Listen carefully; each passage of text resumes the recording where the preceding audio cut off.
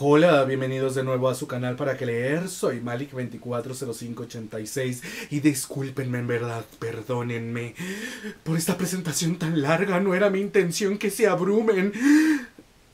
Les traigo de nueva cuenta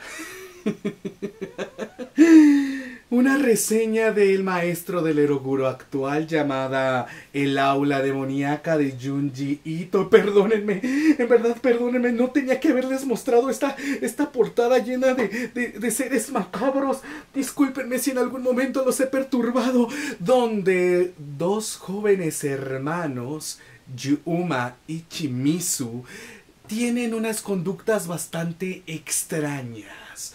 Yuma tiene que estarse disculpando constantemente con, la gente por las horribles conductas de, su hermana que, actúa rarísimo, parece demente, no pierde esa sonrisa y tiene una lengua viperina y perdón, en verdad no tenía que haber dicho yo. Perdónenme ustedes, discúlpenme ustedes. Sin embargo, todo esto se debió a que... Yuma, cuando era joven, le encantaba invocar demonios y lo logró. Sin embargo, la imagen de este ser demoníaco lo está persiguiendo a lo largo de su vida con las personas, con las sombras y claro, con sus familiares. Tanto es así que por culpa de estos rituales perdieron a sus padres y cada vez que Yuma se disculpa ante todos ustedes. En verdad, lo siento, me inclino, me inclino, por favor, pero discúlpenme. Ya no lo pienso volver a hacer, discúlpenme. Cada vez que los seres humanos escuchan las disculpas de Yuma, estas empiezan a derretirse.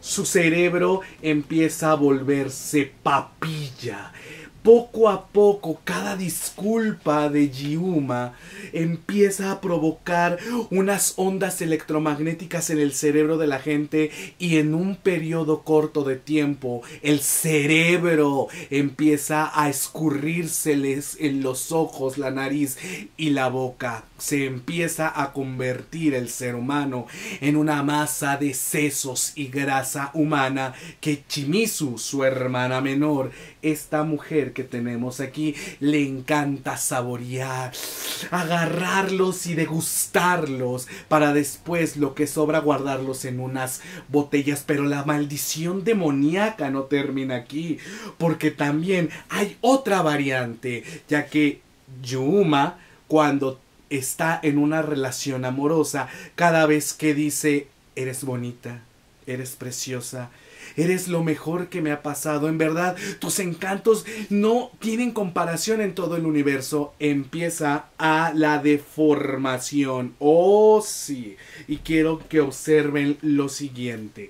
Cada mujer que recibe los piropos de este maravilloso personaje se empiezan a deformar hasta, claro está, terminar derretidos. Junji Ito vuelve a darle un giro intempestivo a la temática de la demonología, donde este demonio que invoca a nuestro protagonista lo único que pide es justamente un castigo por sacarlo del averno, por sacarlo del infierno, y por consiguiente nuestro protagonista tiene que estarse disculpando ante este ser infernal y el castigo es que no pueda vivir en santa paz en su mundo mortal, provocando muertes de sus compañeros, maestros, vecinos, pareja. Y a través de toda la narrativa de Junji vamos a encontrar escenas muy grotescas, escenas de martirio y sobre todo escenas de invocaciones de monstruos de inframundo. Aula demoníaca, tengo que admitirlo, volvió a renovar estos temas de satanismo, de rituales. Le dio este toque grotesco, morboso, asqueroso y vomitivo a todas sus víctimas.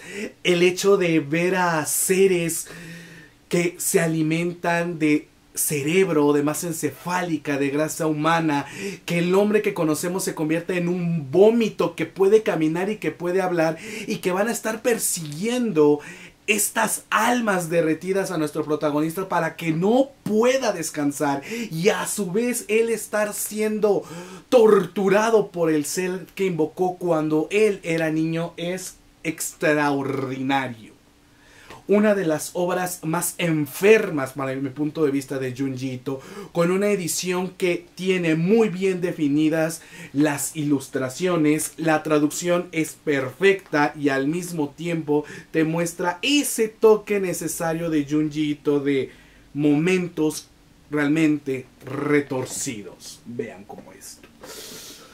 Además, como ven, la portada es con la imagen del tetragramatón y la parte demoníaca. Y como les mencioné, la sobrecubierta de Tomodomo es bellísima. ¿Vale? Vean, vean, vean, vean, vean. Le puse 5 estrellas indiscutiblemente, un 10 de calificación. Aula demoníaca además nos trae al final otras dos pequeñas historias donde vamos a ver lo que es la reencarnación o la resurrección de un muerto y unos niños que son devorados por la tierra. ¿Vale? Entonces, denle una oportunidad a Aula Demoníaca donde cada vez que te digan perdón, ten mucho cuidado porque te podrían derretir el cerebro. Esta línea de terror que maneja Junji partiendo de algo convencional que hacemos los seres humanos, pedir disculpas ante nuestros errores, ante nuestros fracasos, ante nuestros conflictos. Crea con esta simple idea el tormento y la tortura de un alma que en vez de estar en el infierno, sufre su condena en nuestro universo. Gracias Junjito por crear estas historias en verdad fuertes, fieras, brutales y claro, con esta dosis de asquerosidad que nos vuelven morbosos, repulsivos y despiertan el lado bestial que tenemos los seres humanos. Hasta la próxima y adiós. Se despide de ustedes Juan Carlos, el administrador de Para qué leer. Chaito. Bye bye.